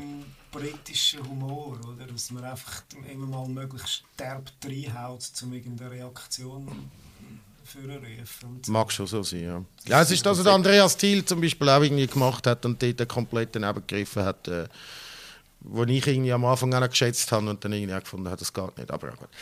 Da kann, äh, können sich alle selber eine Meinung darüber bilden, wer ein äh, Amazon Prime-Abo hat, der kann es dort auch schauen. Und wenn ihr keins habt, könnt ihr ein Probeabo machen, um mal ein Auge voll nehmen oder auch einfach sein lassen. Ähm, wir haben noch ein Spiel, das wir wollen, äh, diskutieren wollen, Game, bevor wir nachher eine kurze ähm, Pause machen und äh, David verabschiedet und dann äh, der Last of Us noch die fünfte Folge äh, diskutieren. Du hast Like a Dragon Ishin gespielt, Tommy. Ich bin sehr gespannt. Es ist ein Remake von einem äh, Yakuza-Spiel. Yakuza, die grösste Spielserie, die in der, ab den 80er fängt an spielen bis zu der heutigen Zeit in Tokio spielt. In dem Fall aber, Ishin spielt äh, im glaube 19. Jahrhundert, wenn es mir recht ist. Und ja, Ende 19. So Jahrhundert, genau. Genau, und das ist mir so ein bisschen im Samurai-Style. Ich habe mir das Game in Tokio gekauft, als ich war, vor drei Jahren, ähm, weil es gibt es nur auf Japanisch. Ich habe es dann probiert zu spielen. Ich habe es eine halbe Stunde gespielt und dann sie klar, weil es ist schwierig war. Das, geht, ja, das, geht nicht, das geht nicht auf Japanisch spielen. Es ist so kompliziert und so viel Zeug, was passiert. Ja. Aber schön, dass es probiert. ja, es ist, weißt du, mit einem, mit einem YouTube, wo einer simultan übersetzt, dann immer eine Pause machen und dann weiter schauen, sonst ist das höchste Anspruchsvoll. Das ist dort auch anstrengend. Ja. Ähm, genau, äh, wie du richtig gesagt hast, das ist ein Remake und das Spiel ist ursprünglich nur in Japan rausgekommen, weil es ja die Serie bei uns lange Zeit recht schwer hatte. Es war eine recht unbeliebte Serie im Westen. Und darum haben sie sich entschieden, damals 2014 das äh, außerhalb von Japan nicht zu veröffentlichen. Vor allem auch, weil es so ein japanisches Spiel ist. Jetzt in diesem äh, Beispiel, es ist halt wirklich japanische Geschichte, Samurais und so. Und dann haben sie gefunden, das interessiert der Westen nicht. Aber äh, mittlerweile ist die Serie international riesig geworden und sie heißt auch nicht mehr Yakuza. Äh, das ist auch die grosse Verwirrung im Moment, sondern sie heißt neu Like a Dragon. Und Like a Dragon, so heißt es eigentlich von Anfang an auf Japanisch. Äh, genau. Ryugago Toku ist es auf Japanisch. Und jetzt heißt es halt überall auf der Welt Like a Dragon. Und jetzt bekommen wir eben das Remake zu Ishin. Ähm, und das Remake, das ist äh, wahnsinnig. Ich glaube, in einem Wort beschrieben kann, kann man sagen, es ist wahnsinnig. Wie alle Yakuza-Games bisher. Ähm, Du übernimmst die Rolle von einem Samurai, äh, eben im 19. Jahrhundert, am Ende der historischen Edo-Periode in Japan. Und die Periode war sehr spannend, weil Japan ist dort kurz vor dem Bürgerkrieg gestanden ist. Die westliche Mächte waren vor der Tür von Japan, gewesen, haben gefordert, dass sich das Land öffnet. Und innerhalb von Japan hat es mega viel Spannungen zwischen zwei Gruppierungen. Äh, den Loyalisten, die dem Kaiser gegenüber äh, loyal waren, und äh, der Militärdiktatur vom Shogun und die haben sich innerhalb vom Land fast bekriegt und in dieser Zeit spielt das Ganze und du bist Teil der Loyalisten, du bist ein Samurai, wo also für, äh, für den Kaiser kämpft und gegen das Shogunat, gegen die Militärdiktatur und du wirst da in einen riesen Komplott hineingezogen. Dein Vater wird ermordet und dein Vater war Anführer von einer Loyalistenbewegung. Und du musst herausfinden, wer das dein Vater ermordet hat und wieso vor allem. Und eben, die Geschichte fängt klein an, sehr persönlich, aber entwickelt sich dann zu einem riesigen Ding und ist mega cool in so historische Fakten verbunden. Also wenn du dich ein mit japanischer Geschichte auskennst, wirst du immer, wieder mal so bekannte Persönlichkeiten sehen, äh, die du gehört hast und äh, so Sachen, die du machst, haben wie Einfluss auf die japanische Geschichte. Das ist wirklich sehr, sehr gut gemacht. Äh, von dem her eben, jeder, der sich nur ansatzweise für Japan, japanische Geschichte oder Kultur interessiert, kann ich es absolut empfehlen. Und ähm, das Herz des Ganzen ist sozusagen das Kampfsystem, wie in allen Yakuza-Games. Äh, weil um diesen Mord aufzuklären, musst du ganz serientypisch durch unzählige Gegner kämpfen. Und im Vergleich zu den normalen Yakuza-Games, wo du vor allem mit den Füßen kämpfen hast du natürlich Schwerter. Äh, du hast aber nicht nur Schwerter, sondern auch Schusswaffen. Weil in dieser Zeit, am Ende der Edo-Periode, haben eben die westlichen Mächte haben, äh, neue Technologien ins Land gebracht. Unter anderem eben auch Schusswaffen und andere industrielle Technologien. Und äh, dann kannst du als Samurai mit Schusswaffen und Katana durchkämpfen. Und das Kampfsystem ist wirklich so gut, es ist so flexibel, du hast vier verschiedene Kampfstile, du hast mega spezielle Finisher, die du machen kannst, die so brutal und übertrieben inszeniert sind.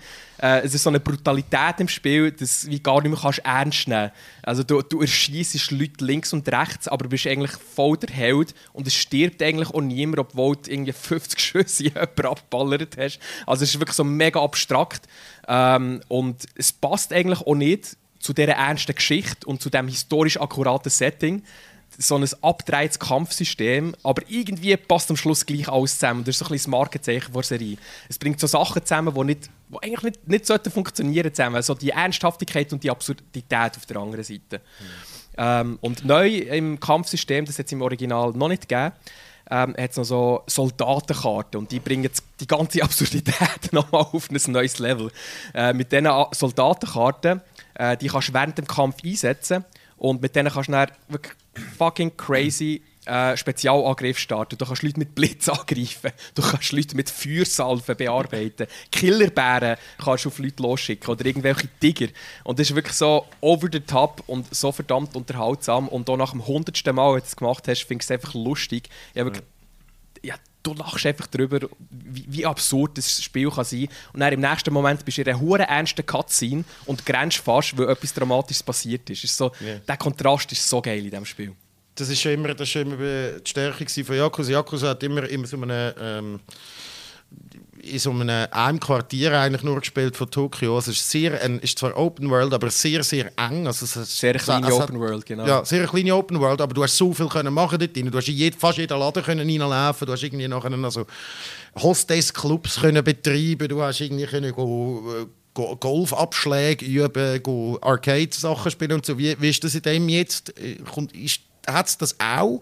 Oder, oder wo spielt es all, ganz allgemein, hat es all die Sachen, die du irgendwie kannst, wo neben der Hauptstory eigentlich kannst machen Ja, es hat, ich, ich habe das Gefühl, es hat noch viel mehr als in den in der Hauptspiel irgendwie. Ähm, ich habe in meinem Review habe ich ein paar Sachen rausgeschrieben, die mir besonders gefallen haben. Du hast natürlich wieder Karaoke, das du in der Hauptspiel auch gehabt. Jetzt Was? einfach ohne Mikrofon, sondern ah. einfach auf der Bühne. Singst einfach und äh, die Leute hören dazu. Also du hast sozusagen Karaoke erfunden. das ist wahrscheinlich der erste, der erste Mensch, der das gemacht hat im 19. Jahrhundert. Äh, du kannst an einem traditionellen japanischen Tanzkurs teilnehmen. Du kannst in einem Bordell äh, um die Wette trinken. Du kannst bei illegalen ah. Hühnerrennen mitmachen und dein Geld ausgeben. Und sogar so eine ganze Landwirtschaftssimulation hat sein Spiel geschafft. Du kannst so ein Landhaus kaufen und kannst dort Gemüse anbauen. Das Gemüse kann, kannst du dann verkaufen, zum neue Deko für dein Haus kaufen. Du kannst kochen in diesem Haus. Also es ist wirklich crazy, wie viele Sachen neben den Hauptmissionen kannst machen Das hat sich nicht geändert im Vergleich ja. zum Hauptspiel, zum Glück. Ja. Und es spielt aber auch in Tokio, oder wie? Es spielt in Kyoto, beziehungsweise Kyo hat es dann geheißen. Und ähm, ja, es ist dementsprechend eben, es, es sieht aus weiteres als japanisches Dorf würdest du vorstellen. Und das mhm. ist wirklich mega viel Liebe zum Detail umgesetzt. Und vor allem in der Nacht, ähm, wenn du nur so wenig beleuchtet hast, du hast ja keine Elektrizität und nichts, sondern nur so ein bisschen Laternen, die wo, wo überall rumhängen und so vor allem in der Nacht sieht es dann auch cool aus. Und mhm. manchmal bin ich wirklich nur durch die Straße gelaufen, langsam, um so die Atmosphäre einsaugen, weil es einfach so eindrücklich war. Okay, cool. ähm, ein Punkt, der mich ein gestört hat, Simon, du weißt es ja sicher, die Like a Dragon bzw. Yakuza Games sind ja sehr, sehr lange Games, wo du sehr viel Wiederholungen musst machen musst, sehr viel musst ja. grinden, sehr viel Materialien musst sammeln, Geld musst sammeln, um weiterzukommen, oder? Ja, voll. Und du kannst, also, du kannst es auch, also wenn du straight up schnell probierst durchzuspielen, das geht schon auch, aber du verpasst halt auch viel. Es hat äh, mega viel äh, Sidequests sind fast, die Nebenstories habe ich fast spannender gefunden als ja. andere und so. Das heißt, es, es, ist ein, es ist eine Investition, wirklich. Ja. Also es geht unter 60, 70 Stunden, kommst du nicht, kommst nicht davon. Ja, voll. Und jetzt hier bei Ishin habe ich wie gefunden, haben sie, haben sie so ein bisschen das, äh, den Grind-Gameplay-Loop auf die Spitze getrieben, weil es ist wirklich für, für die kleinsten Upgrades, die, die du kannst machen für deine Schwerter oder Ausrüstung, musst du wirklich so absurd viele Ressourcen sammeln, dass es vor allem am Anfang vom Spiel, vom Spiel eigentlich irgendwann nicht mehr Spass macht. Äh, mhm. und das Sammeln von diesen Ressourcen ist eben mit mega repetitiven Aufgaben verbunden. Du musst du musst tausend Sachen gleichzeitig machen, tausend Sachen gleichzeitig sammeln. Und äh, eben vor allem am Anfang hat es mir so ein bisschen abgelöscht. Vor allem mit der Experimentierfreudigkeit. Du hast eigentlich sehr viele Möglichkeiten, die du ausprobieren kannst, aber dass du ja. alles ausprobierst, ist einfach unmenschlich. Also du kannst nicht so viel Zeit investieren in das Spiel. ja, voll. Äh, cool. Auf welchen Plattformen ist es alles? PC und alle Konsolen außer Switch, oder wahrscheinlich? Genau, das kommt auf allen Konsolen Last Gen und Current Gen raus. Und zwar am 21.02. Sehr schön. Ähm, ist Game Pass? Nein, nicht. He? Nein, das ist nicht Game Pass. Aber ich glaube, ein paar alte Yakuza-Games sind im Game Pass immer noch. Sind alle also, drin? Ähm, sie sind immer noch alle drin. Also ich, ich wüsste nichts anderes. Ähm, das letzte, was ich weiß, aber es sind, ja, ja, die kann man schon, die kann man sich, äh, man kann sich, alle, man kann sich die alle geben, aber es ist, ein Lebens, es ist eine Lebensaufgabe. Es ist so, bin, ja. Aber Ishin ist ein, ist ein guter Einstiegspunkt, finde ich, in die Serie, weil du musst nichts kennen von, von der Hauptgeschichte, ähm, ja. weil eben von den Hauptspielen gibt es mittlerweile sieben äh, oder ein bisschen mehr, wenn du Spin-Offs dazu zählst und da musst du wirklich nichts kennen. Von dem her, wenn, wenn du so ein das Gefühl für den Humor und für das Gameplay von dieser Serie was bekommst, ist es sicher kein schlechter Einstiegspunkt. Sehr schön. Like a Dragon Ishin. Wir verabschieden dich, David. Tschüss. Danke, dass du da gewesen. Hast mit uns ein bisschen über äh, Basics geredet? Nein, über Basics, nicht über Basics. Danke. Und, äh, und sind dann gerade wieder zurück für den Last of Us.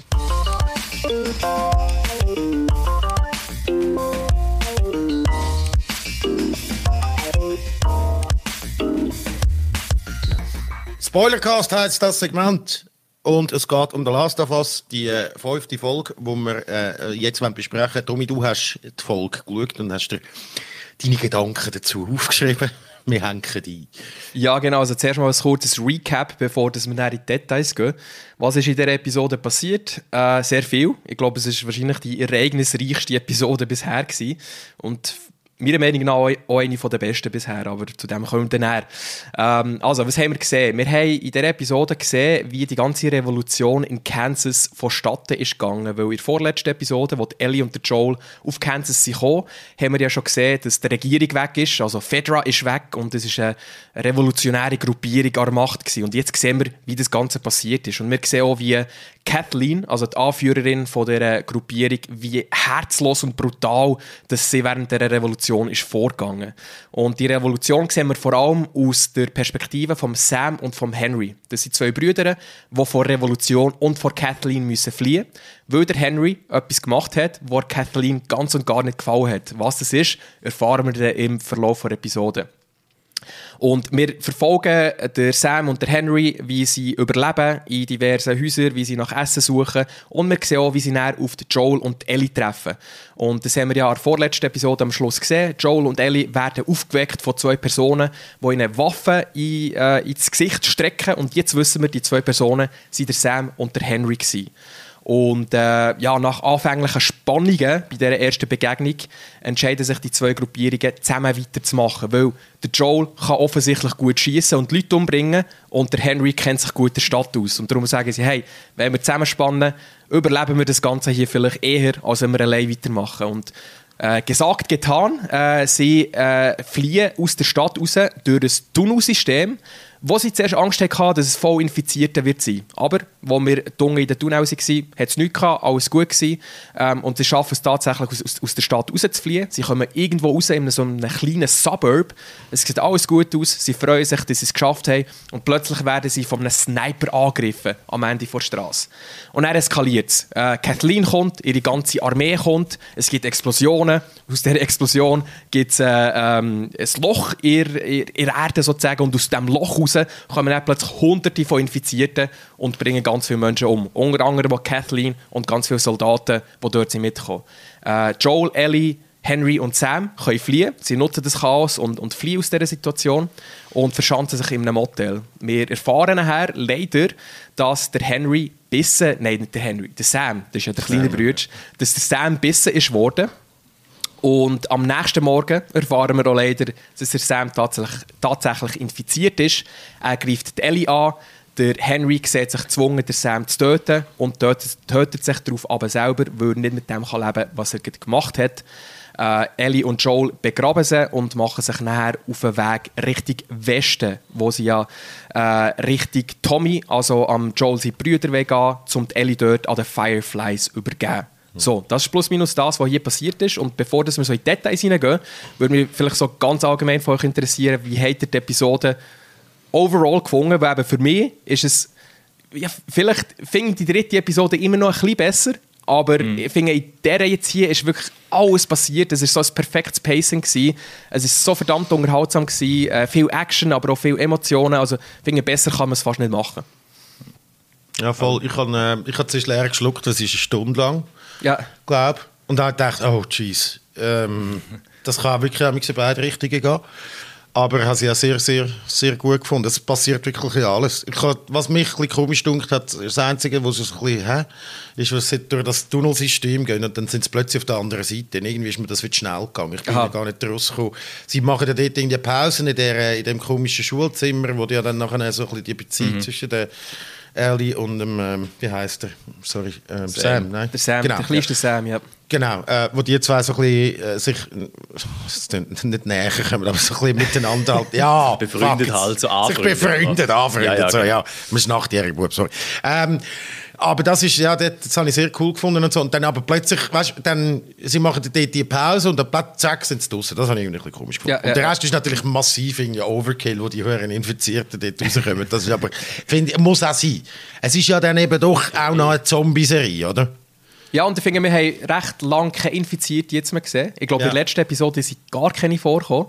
Mhm, äh, in Episode 4 und in Episode 3 sind nur irgendwie zwei, drei vorgekommen. Und äh, jetzt, wenn sie mal wieder vorkommen, ist es dafür umso krasser. Ja, kommen ja. 100 raus und noch der, riesen Bloater, der kommt. Von dem her finde ich es echt gut, dass es so in Wellen kommt, dass du zwischendrin nichts hast. Und dann, wenn es wirklich wieder so weit ist, ist es umso, hat es umso mehr Impact irgendwie. Ja, voll. Das habe ich auch gefunden, ja. Also ich habe generell, ich, ich habe es auch die bin auch am Anfang gefunden, ja, es ist wahrscheinlich die zweitbeste Folge nach der dritten bis jetzt für mich und am Schluss bin ich eigentlich so weit gewesen, dass ich gefunden habe, ja, nein, das ist, ist, ist mindestens so gut gewesen. Mhm. Ähm, weil sie so, sie hat mehr, hat mehr Ebenen irgendwie, also die andere ist einfach wie traurig und tragisch und schön gewesen und jetzt die macht irgendwie das und dann aber auch extrem viel Spannung und so ein, so ein ungutes Gefühl, das man mhm. recht lang hat und dann am Schluss die riesen Schocker-Moment.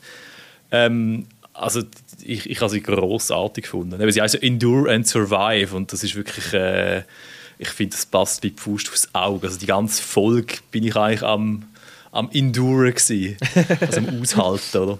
Ja, ja, aber es hat ja wirklich, es hat schon ein paar ruhige Minuten noch gegeben, oder? Also das ist ja, aber, aber, aber, auch die sind eben so, also das stimmt, also wo, äh, wo Kinder haben so ein Kind sein das ja. habe ich sehr schön gefunden, aber es ist gleichzeitig auch irgendwie schlimm gewesen, weil man halt weil es so vor Augen geführt hat, wie es normal wäre, oder? Und dann werden sie wieder rausgerissen und ja, dann ist es umso schlimmer. Es hat eine Szene ja. Äh, zu dem, wo, wo mir besonders in Erinnerung ist geblieben, im Hochhaus, wo sie noch waren und der Joel und der Henry schauen so raus und planen und äh, Ellie und der Sam sind hingen am Spielen oder was auch immer und dann lacht der Sam plötzlich. Und ja. der Henry ist dann so erstaunt und sagt, hey, das habe ich schon lange nicht mehr gehört. Äh, und es ist echt so, so etwas Kleines wie ein Kinderlachen, äh, dass es etwas Außergewöhnliches ist in dieser Welt. Und eben umso tragischer, wenn du so zurückschaust auf die Szene, wenn du weißt, was mit dem Sam wird passieren. Äh, und dass, dass er mit der Ellie so bondet hat in dieser kurzen Zeit. Mhm. Das ist äh, sehr tragisch, ja. Voll. Das, ich meine, das ist auch krass. Der, der Aufstand, das fängt ja auch an mit dem, mit dem Aufstand, wo du siehst, wie die zwei, äh, so zehn Tage vorne. Ja. Mhm. Äh, du checkst nicht richtig, wie lange das Flashback irgendwie her ist und dann merkst, ah, das ist erst zehn Tage her. So. Und, dann, und das finde ich auch recht äh, super krass, wie so die verschiedenen Momente sich unterscheiden. Oder? Sie sind auch unter mega Druck, weil die ganze Stadt sucht sie eigentlich so. Mhm. Ähm, und die anderen äh, müssen sich hier verstecken, weil sie dort äh, am Anfang den Konflikt haben mit, denen, mit, mit Disney, wo sie, irgendwie, äh, wo sie abpasst haben, oder? Wo er äh, dort auf der Straße gestanden ist und er einfach nachher vorbeigefahren ist. Es ist, ja, es ist schon, es ist recht abgefahren, ähm, ja. wie die, die Kontraste dieser Serie so. Und äh, ich, ich, ich bin beim Game äh, genau Anfang von dem, ich bin am Anfang von dem Segment beim Game, so weit bin ich gekommen, nachher habe ich es nicht mehr weitergespielt. Wie ist es beim Game? Ich habe es nicht gespielt. Der Domi? Ähm, also jetzt, was in der Episode passiert ist, ja. sozusagen. Ähm, ja, mehr darfst du nicht erzählen, sonst spoilern uns auch. ja, das Game, obwohl der Film behauptet, ich würde das Game dann irgendwann noch spielen, nachdem ich die Serie gesehen habe. Ich mache es nicht mehr. Ich habe schon viermal angefangen auf drei verschiedenen Systemen. Ich mache es nicht mehr. Komm jetzt noch einmal nach der Serie. vielleicht, vielleicht du noch ein bisschen mehr Bindung ja. zu den Charakteren. Nein, ich glaube, es ist recht ähnlich. Ähm, es hat, also so, so, der Ausgang ist gleich, der, ja. der Sam stirbt und, und der Henry stirbt. Ähm, wie das man dort herkommt, ist ein bisschen anders. Ähm, die ganze Hintergrundgeschichte von der revolutionären Be Bewegung, die wird nicht erklärt. Im, im Spiel sind es einfach Gegner, die du musst töten musst. Du hast ja auch mhm. keine Möglichkeit, Perspektiven zu wechseln im Spiel. Mhm. Und das hast du hier in der Serie gut und das finde ich super, dass sie das machen. I, Im, auch, ja. Game hast du halt einfach den Joel und Ellie müssen verfolgen die ganze Zeit und hier lösen sich die Freiheit und schauen auf die andere Seite und machen die, die ganze Situation ja, darum nochmal ein bisschen dramatischer irgendwie, weil du halt weißt, wer auf der Gegenseite ist. Es sind nicht irgendwelche anonymen Raider, wo du einfach nicht der Metzel ist, sondern äh, du weißt, was ja, wie das sie zu dem sie wurden, wie die Revolution ist gegangen und so weiter und so fort. Von dem her eben, der Ausgang recht ähnlich, aber das, was zwischendrin passiert, hat es ein bisschen Unterschied gegeben. Ich glaube auch, die, der Abschnitt mit dem Sam und dem Henry ins Spiel ist ein bisschen länger gewesen. Also logischerweise länger als eine Stunde, aber er hat so wie das Gefühl gehabt, wenn man es auf die Serie adaptiert, hätte es auch mehr als eine Episode können sein, die sie zusammen mhm. verbracht haben. So.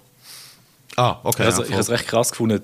Es war so zwei Teile. Der erste Teil von, der, von dieser Folge ist wirklich so, so serienmäßig mit den Hintergrundgeschichten und nachher wechselt wo so in die Tunnel gehen und dann bin ich in einem Game. Also dann, dann kann ich mir 100% vorstellen, wie du das im Game durchspielst wow. und dann kommen sie auf die Straße raus, dann kommt der Sniper. Der Sniper, ja genau, das ist eine von der ikonischen ja. Szenen aus dem, aus und dem Game. Und dann spielst du wahrscheinlich den Joel nicht mehr an oder musst, musst den anderen den, den Rücken frei halten, während sie flüchten. Voll, du musst zuerst als ja, ja. Joel musst die vorschleichen äh, bis zum Sniper. Im Game hast du noch mehr Leute, die auf dem Weg auf dich warten und dann ist so ein bisschen Problematik, du musst die Leute ausschalten, aber gleichzeitig darfst du dich vom Sniper nicht verwutschen und dann genau wie du richtig sagst, du den Sniper töten und schaust schnell, dass Ellie, äh, Sam und Henry überleben. Aber das habe ich mhm. geil gefunden, dass sie das übernommen haben. Ähm, einfach weil ich es nicht erwartet hätte, dass sie es machen würden, weil es so eine gamige Situation ist irgendwie. Ey, es ist super, es ist, ohne dass ich das Game gespielt habe, ich, ich, ich habe es grossartig gefunden zum Schauen. Ja, ja, es, ja. Hat, es, hat, es hat Chest High Walls. Ich meine, das sagt alles, ja. hat wirklich, es ist ja, alles so,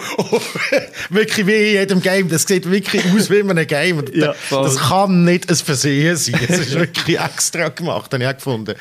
Ähm, me mega. Ähm, und das finde ich aber noch geil an dieser Serie, dass, dass es äh, die, die Game Herkunft, das tut es nie irgendwie verleugnen und probiert es auch nicht irgendwie erzwungen, irgendwie das abzustreiten. Es tut sehr organisch irgendwie das einbauen. Also du merkst, ah ja, mal, das ist in einem Game. Auf der anderen Seite gibt es halt viele Sachen, weil ich meine, im Game schnorren die halt immer während dem Laufen und so und du kannst, du kannst ganz viele Sachen vermitteln, wo du jetzt da halt irgendwie andere Mittel musst suchen, um es zu vermitteln. Und das klingt recht, ja. recht cool. Und ich finde auch die Rückblicke, auch wenn es manchmal so dazu tendiert, alles ein bisschen, noch ein bisschen zu fest zu erklären, so.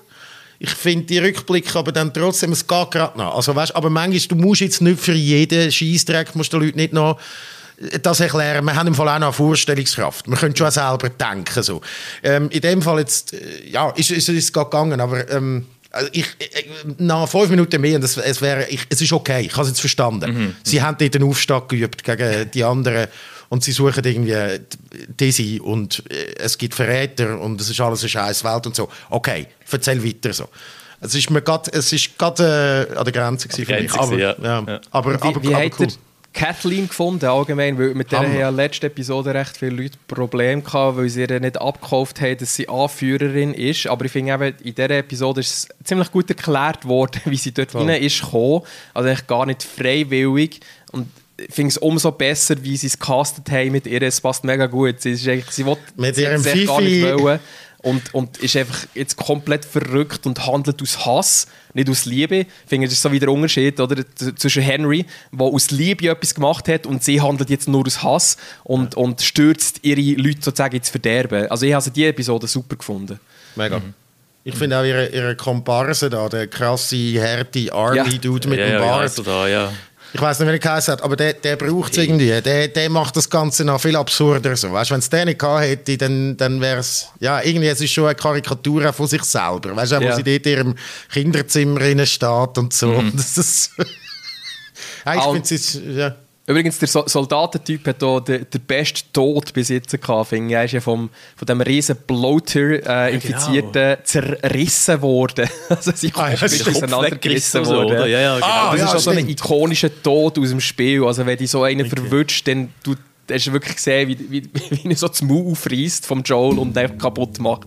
Und das ist so, so ein kleines Easter Egg, das sie ja noch eingebaut haben für alle Leute, die es kennen aus dem Spiel. Ah, schau da. Das ist ah, wenn die so einen verwünscht. Ah, wenn du, wenn du als Joel von so einem verwünscht wirst im Game. Ja, genau, genau, genau. genau. Okay, okay, ja. Ja. Ja, ey, das, ich finde aber irgendwie die, die riesen Bloater-Ding, ich finde, weißt bis dort an sind die Zombies alle noch, ich kann dir noch vorstellen, dass, dass das die wirklich gibt, so, weißt, weil die sind alle mit einem Pilz infiziert, sind alles irgendwie ja. Menschen, die den Pilz mhm. übernimmt.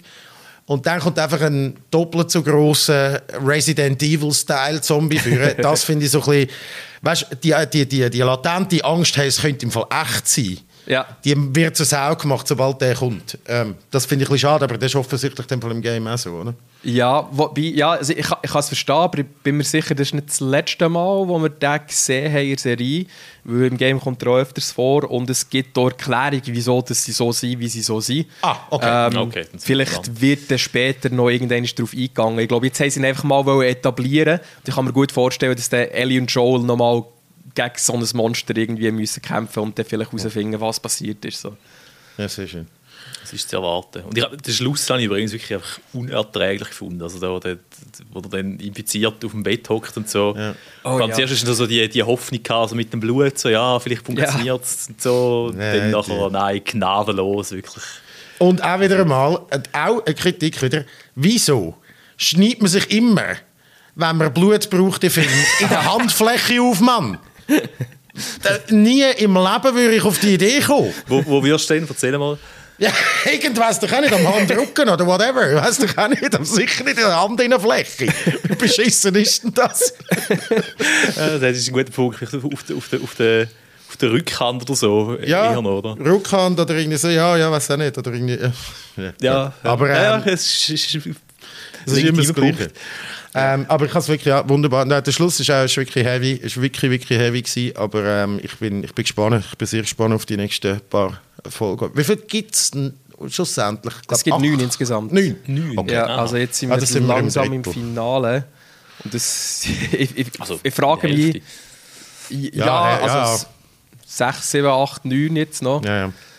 Ähm, und ich frage mich, also ich sage, ich sage es im Finale, weil also, es gibt noch so viele Sachen, die im Game passieren und ich kann mir irgendwie nicht vorstellen, wie sie das alles in vier Episoden unterbringen, ohne dass es hure rushed ist. Wahrscheinlich werden wir noch ein paar Episoden haben, die über eine Stunde lang sind.